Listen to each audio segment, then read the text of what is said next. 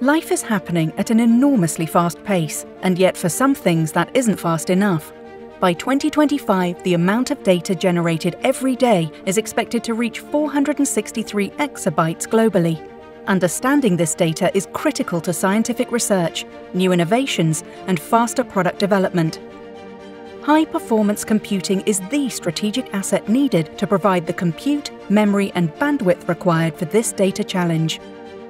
Intel is committed to delivering HPC and AI technologies that will turn this massive amount of data into faster time to insights.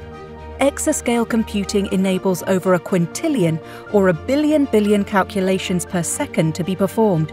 With this speed, the possibilities are endless, enabling breakthroughs in energy production, manufacturing, chemical design, medical research, earthquake risk assessments, and more. Today, Intel CPUs power the majority of the world's top 500 supercomputers.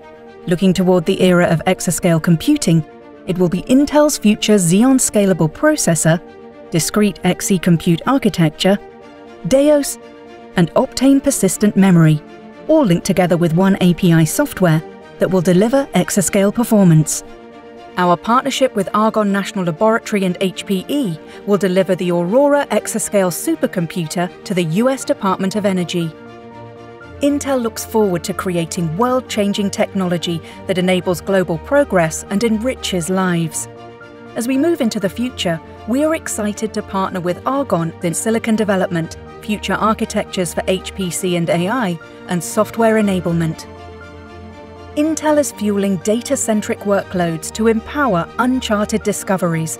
Our partnerships will enable advanced scientific discovery, strengthen national security, and improve industrial competitiveness, leading to the next era of HPC innovation.